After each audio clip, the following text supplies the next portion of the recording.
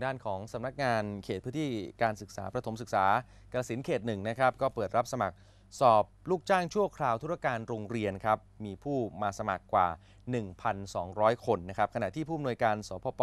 กาฬสินเขตหนึ่งก็ยืนยันว่าการสอบครั้งนี้จะไม่มีเรื่องของเส้นสายแน่นอนครับ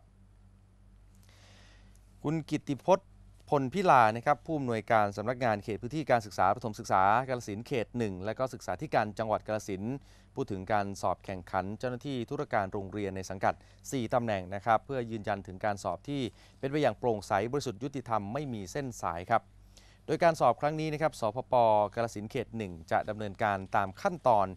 เป็นไปอย่างบริสุทธิ์ยุติธรรม ใช้ความสามารถล้วนๆนะครับผู้สมัครอย่าไปหลงเชื่อนะครับว่าจะช่วยเหลือวิ่งเต้นให้สอบบรรจุได้อย่างเด็ดขาด และเพื่อสร้างความมั่นใจให้กับผู้เข้าสอบ ซึ่งวันสอบจริง 30 เมษายนนี้จะมีการติดตั้งกล้องวงจรปิด บริเวณห้องเก็บข้อสอบ รวมไปถึงห้องสอบนะครับ